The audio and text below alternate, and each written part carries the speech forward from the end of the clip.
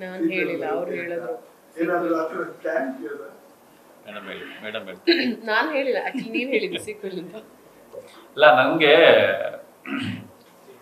ರಚಿತಾ ಅವ್ರ ಜೊತೆಗೆ ವರ್ಕ್ ಮಾಡ್ಬೇಕಂತ ಟೂ ತೌಸಂಡ್ ತರ್ಟೀನ್ನಲ್ಲಿ ಅನ್ಕೊಂಡ್ವಿ. ಆ, ರುದ್ರತಾಂಡವ ಟೈಮ್ ಅಲ್ಲಿ ರಚಿತಾ ಅವ್ರ ಜೊತೆ ವರ್ಕ್ ಮಾಡ್ಬೇಕಂತ ಅನ್ಕೊಂಡ್ವಿ. ಆ ಟೈಮಲ್ಲಿ ವರ್ಕ್ ಮಾಡಕ್ ಆಗ್ಲಿಲ್ಲ.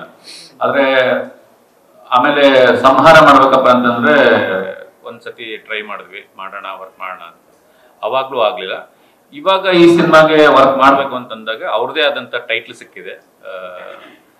ಒಂದು ಖುಷಿ ಆಗುತ್ತೆ. ಅವ್ರಿಗೂ ಖುಷಿ ಇದೆ. ನಮಗೂ ಖುಷಿ ಆಗುತ್ತೆ ಆ ಟೈಟ್ಲು ಇಟ್ಕೊಂಡು ಕೆಲಸ ಮಾಡೋಕ್ಕೆ. ಈ ಸಿನಿಮಾ ಚೆನ್ನಾಗಾಯಿತು ಆಡಿಯನ್ಸ್ಗೆ ಒಂದು ಹೋಪ್ ಬಂತು, ಸಿನಿಮಾ ಹಿಟ್ ಆಯಿತು ಅಂತಂದ್ರೆ ಯಾಕೆ ಮಾಡಬಾರ್ದು? ಮಾಡೋಣ ಡೆಫಿನೆಟ್ ಆಗಿ. ವರ್ಕ್ ಆಗಬೇಕು. ಸೀಕ್ವೆಲ್ ಯಾಕೆ? ಪ್ರೀಕ್ವೆಲ್ ಮಾಡಿ. ಹಾ, ಅದನ್ನ ಮಾಡೋದು So, ಇಲ್ಲಿ. ಸರ್ ನೀವು ಕೆ ಟಿ ಮತ್ತೆ ಶಂಕರ್ ಡೈರೆಕ್ಷನ್ ಮಾಡೋದು Ajay Rao involvement direction department ಯಾವ ಥರ ಥ್ಯಾಂಕ್ ಯು ಬ್ರದರ್ ನೋಡಿ ನಾನು ಎಲ್ಲದಕ್ಕೂ ಆನ್ಸರ್ ಅವಾಗಲೇ ಕೊಟ್ಟಿದ್ದೇನೆ ಅಂತ ಅನ್ಕೊಂಡಿದ್ದೀನಿ ಮೋಸ್ಟ್ಲಿ ಆದ್ರೆ ಡೆಫಿನೆಟ್ ಆಗಿ ನಾನು ಒಂದು ಹೇಳಕ್ ಇಷ್ಟಪಡ್ತಾ ಇದ್ದೀನಿ. ಒಬ್ಬ ಹೊಸ ಡೈರೆಕ್ಟ್ರು ಬರ್ತಾ ಇದ್ದಾನೆ. ಏ ಮೈಕ್ ಕೊಡ್ರ ಚೆನ್ನಾಗಿರೋದು? ಹಂಗೆ ಮಾತಾಡ್ಬಿಡಿ ಸರ್. ಅವ್ರ ಕೇಸ್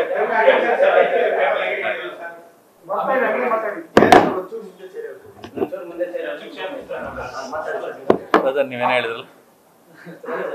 ಡೈರೆಕ್ಷನ್ ಡಿಪಾರ್ಟ್ಮೆಂಟ್ ಅಲ್ಲಿ ಅಜಯ್ ರಾವ್ ಇನ್ವಾಲ್ವ್ಮೆಂಟ್ ಎಷ್ಟಿತ್ತು ಅಂದ್ರೆ ಇತ್ತು ಇತ್ತು ಅನ್ನೋ ಒಂದು ಮಾತು ಕೇಳಿ ಬಂದಿರೋದು.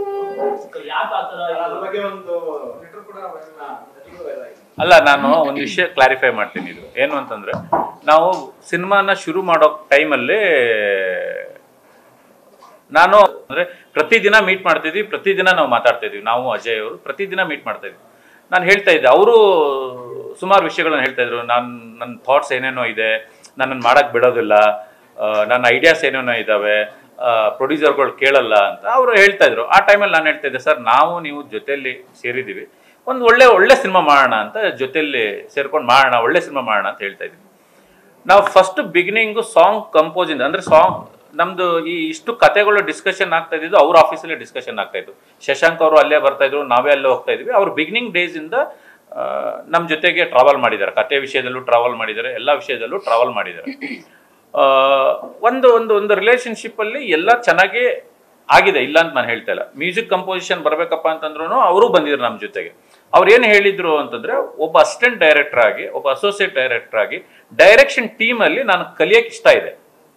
ಆದ್ರಿಂದ ನಾನು ನಿಮ್ಮ ಟೀಮ್ ಜೊತೆಗೆ ಇರ್ತೀನಿ ಅಂತ ಹೇಳಿದ್ರು. ಒಬ್ಬ ಹೀರೋ ಬಂದ್ಬಿಟ್ಟು ನಾನು ಅಸಿಸ್ಟೆಂಟ್ ಡೈರೆಕ್ಟರ್ ತರ, ಒಬ್ಬ ಅಸೋಸಿಯೇಟ್ ಡೈರೆಕ್ಟರ್ ತರ ನಿಮ್ಮ ನಿಮ್ ಟೀಮ್ ಜೊತೆಗೆ ಇರ್ತೀನಿ ಅಂತಂದ್ರೆ ಯಾಕೆ ಮಾಡಬಾರ್ದು? ಏನ್ ತಪ್ಪಿದೆ?